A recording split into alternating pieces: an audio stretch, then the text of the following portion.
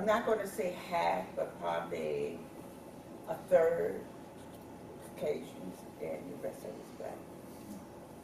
And eventually they moved out, and I never forget, uh, something happened to our washing machine, and I had to go to the laundromat that sat on the corner of Brookland Park and Fendall Avenue. And while I was there, um, there was a gentleman talking about this lady who uh, lived in my block, and she didn't want to move, but they forced her to move. I just, uh, I've always remembered, because I always thought that was the worst thing in the world. I remember her when I got there. She was a little old lady, and she was very friendly. And um, but th- those are the things that happened to them. They got letters, and you know, telling them the people that we were moving in, and they needed to leave, and that's that's what happened to a lot of them.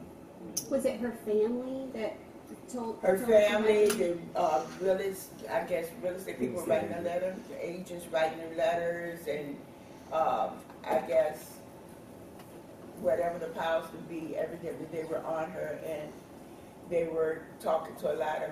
But one of my neighbors, when I first got there, the neighbors that were directly in front of me had eight children.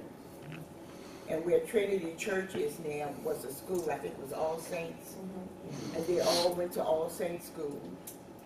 And um, eventually they moved out.